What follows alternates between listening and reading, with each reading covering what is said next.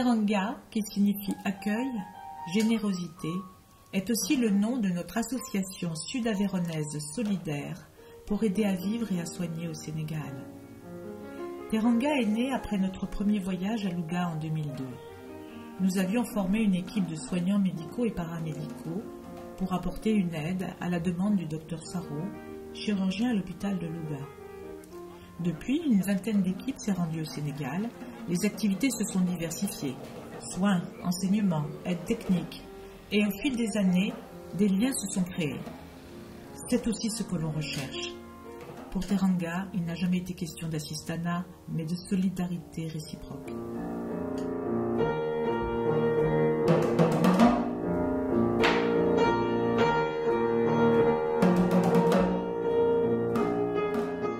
Ce 2 mars 2017, levé à 6h30. Une foule de petites choses à régler avant le voyage. Arrivé à 2h du matin à Dakar, et une fois de plus, l'émotion nous gagne en posant le pied sur le tarmac de l'aéroport Léopold Sédar Senghor. À la sortie de l'aéroport, on aperçoit le t-shirt jaune de Oumar, notre ami chauffeur du taxi urbain jaune et noir de l'espace Tiali, où nous posons nos sacs pour cette première nuit. def Magnifique Jaam rek. Naka njaboot gi? Jaam rek. naka waa kër gi? Jaam rek. mbaa tàngoor bi suul foofu? Tuuti rek. alhamdulilah Alhamdulillah. Oui, mais pour le transport, il n'y a pas que le taxi.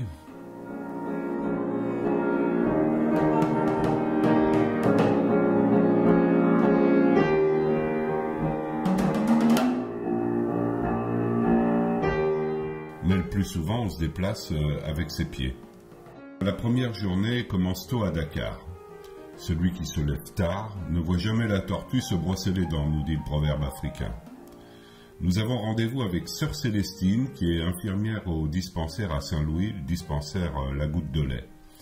Nous allons à la maison du médecin au centre-ville de Dakar pour y acheter un microscope pour équiper son laboratoire, acheter aussi un otoscope pour sa consultation. C'est vrai que plutôt que de faire les achats en France, on préfère acheter sur place. Cela fait marcher le commerce et puis euh, il y a tout ce qu'on veut à Dakar. Et en prime, on a le sourire du vendeur et souvent un petit cadeau. Nous partons ensuite chez Moussa et Fatou Amboro au bord de la mer. C'est un village de pêcheurs et de maraîchers. L'idée était de faire le point avec Moussa sur la façon de l'aider à s'équiper d'un forage pour arroser ses citronniers et les champs où il cultive les oignons. Là-bas, le déficit en eau est préoccupant. Euh, ici, l'ensoleillement est exceptionnel. Il fait très chaud, très sec. Et l'accès à l'eau est aléatoire.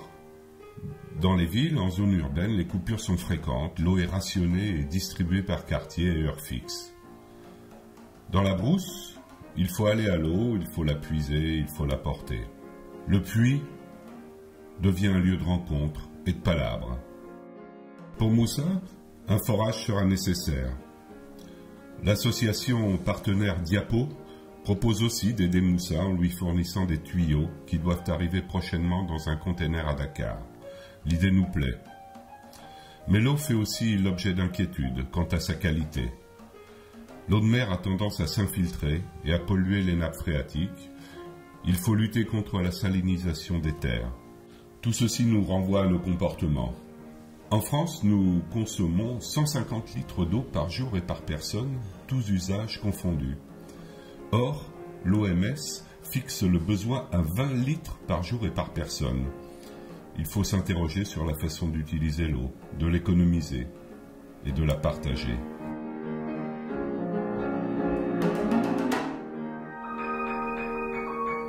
Aujourd'hui, changement d'atmosphère. Nous repartons pour Thiès avec Samb à bord de son clan d'eau. Le jour se lève, mais il fait déjà chaud. On traverse une forêt de baobabs et des paysages de brousses desséchées où on cultive des arachides, du manioc, du mil, du bissap rouge. Sur la route, des charrettes tirées par des ânes, des étalages de fruits, de légumes, des poteries, des vanneries, des vendeuses souriantes, des habits colorés, la vie est dans la rue. Nous arrivons à Thiès, capitale régionale. La nuit tombe très vite, il est 18 heures.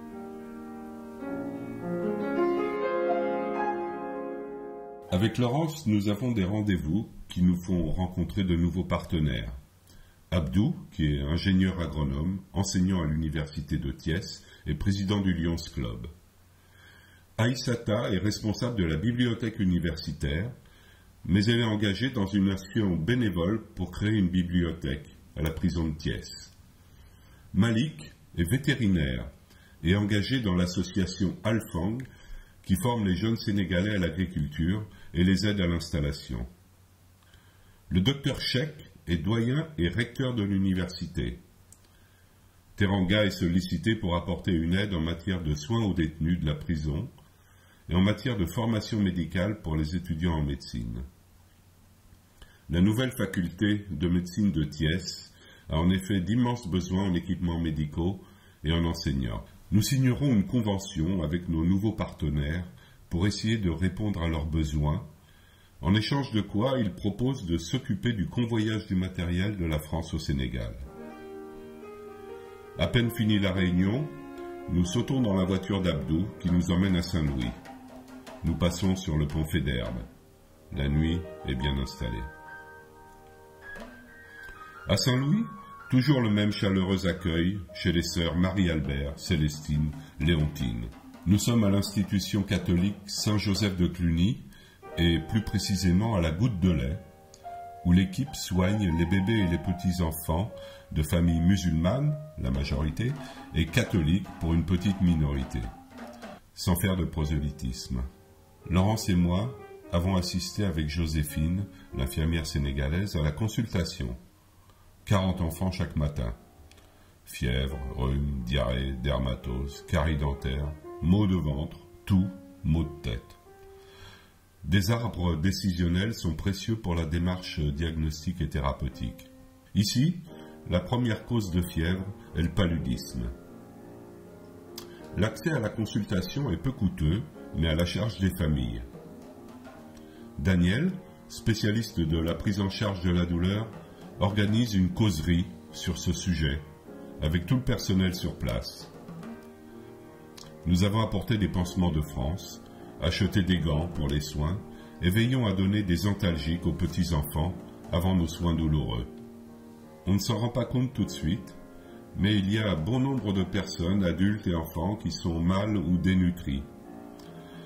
Nous l'avons réalisé à l'hôpital de Louga, surtout chez les enfants, dans la rue, et aussi lors des dépistages des dénutritions de l'enfant à Saint-Louis. L'Afrique est la région du monde ayant la plus forte proportion de personnes souffrant de la faim, en particulier l'Afrique subsaharienne. Une personne sur quatre y est sous-alimentée. La malnutrition provoque la mort de 3 millions d'enfants de moins de 5 ans dans le monde chaque année, soit près de la moitié des décès chez l'enfant. L'État sénégalais contribue à y faire face. L'association Teranga, très sensibilisée à ce fléau, y contribue aussi à son modeste niveau par l'achat de sacs de riz et de lait. La semaine passe très vite. Au fil des années, nous avons appris à apprécier Saint-Louis, ancienne ville coloniale, relais de l'aéropostale, vivant aujourd'hui surtout de la pêche. Les pêcheurs partent parfois plusieurs jours pour pêcher au large du Sénégal, de la Mauritanie ou du Maroc. Saint-Louis est aussi une ville universitaire, avec un grand campus à la sortie nord de la ville. Aujourd'hui, un peu d'air nous fera du bien. Nous sommes sur la langue de Barbarie et nous retrouvons Jean-Marie, éco-garde venu de la France et installé là depuis longtemps. Nous visitons cette réserve naturelle pour la nidation d'oiseaux migrateurs. Nous nous déplaçons en pirogue, naviguant parmi les sternes, les balbuzards, les aigrettes, le solitaire héron cendré, les pélicans. On s'approche de la nouvelle embouchure du fleuve Sénégal, qui fait réémerger d'anciens îlots comme Doum d'Abadiès, reconvertis en terre maraîchère. C'est authentique, magnifique, bucolique.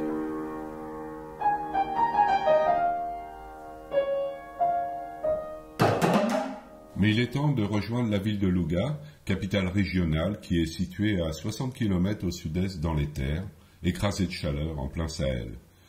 42 degrés nous attendent, avec euh, des coupures d'eau fréquentes. On y retrouve avec joie la deuxième équipe, Solange, Paul, Florence, Daniel, Eliane et André, arrivés au petit matin. Ils ont voyagé toute la nuit, ils logent au palais, dans une maison en dur, au milieu d'un beau jardin. Leur projet Paul va assister la pharmacienne à l'hôpital, Florence travaille avec Camus, ambulancier, Eliane et Daniel, enseignants, ont un emploi du temps chargé dans les écoles, Solange, notre présidente, coordonne tout ça avec André. Ils vont aussi en brousse, à Parcissé et à Saint-Louis, à la goutte de lait, et dans des postes de santé de Louga et de la Brousse. Aujourd'hui, c'est une journée importante pour Teranga. Les deux équipes sont réunies pour rendre visite à nos partenaires lougatois de la mairie et de l'hôpital, partenariat qui dure depuis maintenant 14 ans. Nous remettons officiellement cinq gros sacs de matériel médical que nous avons convoyés. Nous faisons le point sur les projets de l'hôpital qui est en rénovation, sur le devenir des 5 mètres cubes de matériel médical que nous avons convoyé en 2016. Nous avons en effet vite compris que le matériel que l'on peut apporter doit répondre à un besoin exprimé, doit être en état de marche, facile à utiliser, à entretenir, et que les utilisateurs soient formés.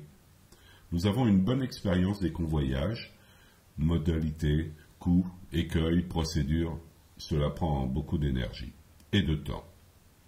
Dans plusieurs de nos missions, des techniciens, bricoleurs, aux compétences étendues ont été très utiles. Le directeur de l'hôpital de Louga nous remercie en nous disant que les actions de soins et de soutien logistique et humain faites à l'échelle de notre petite association de bénévoles sont très importantes et fort appréciées et utiles. Cela nous va droit au cœur car on est précisément dans nos objectifs. Nous ne manquons pas d'aller saluer nos amis, car au fil des années, ce sont bien des rencontres fécondes qui se vivent avec les soignants de la première heure. Tanti, Badara, Rama, Camus, et de tous les autres, Joseph, Ami, Mbargou, Moussa, Fatou, Mokhtar Diao.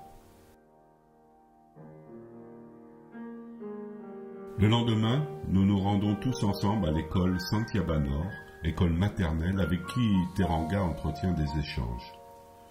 Nous leur apportons précisément des dessins réalisés par les élèves de maternelle de l'école de Saint-Georges de Luzançon.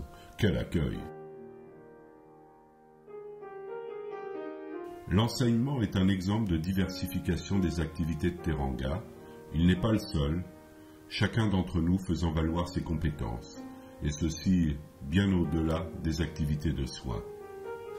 Laurence et Daniel regagnent Dakar et Saint-Georges de Luzançon. Nous laissons Solange, Paul, Florence, Eliane, Daniel et André continuer leurs actions pour Teranga. Aujourd'hui, ils partent à Par-Cissé pour une journée remplie d'émotions. Depuis de nombreuses années, nos bénévoles sont invités dans ce village de brousse à l'écoute de ses besoins. Accueillant musique et en danse avec les femmes avant de visiter l'école, le poste de santé et de partager le repas. Ces moments d'échange sont intenses et chaleureux, c'est la teranga sénégalaise. Elle ne se raconte pas, elle se vit, comme dit Solange. Citons pour finir les paroles du poète Amadou Ampateba. Quand une chair est présente, on ne doit pas bêler à sa place. Nous avons toujours pensé, en effet, qu'il appartient aux Africains de parler de l'Afrique et qu'il leur appartient aussi de construire leur avenir eux-mêmes. L'association Teranga, qui emmène des équipes depuis 15 ans au Sénégal, n'a pas d'autre prétention que de créer ces liens d'amitié et de permettre des échanges solidaires pour faire découvrir toute la richesse de la culture sénégalaise.